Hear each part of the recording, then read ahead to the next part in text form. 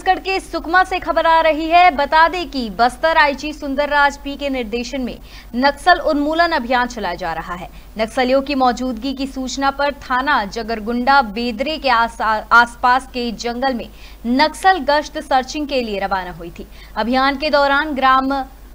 दुरंदरभा के जंगल के पास police party को देखकर कुछ संदिग्ध व्यक्ति छिपने लगे घेराबंदी कर दो संदिग्ध व्यक्तियों को पकड़ा गया गिरफ्तार नक्सलियों की तलाशी लेने पर चार नग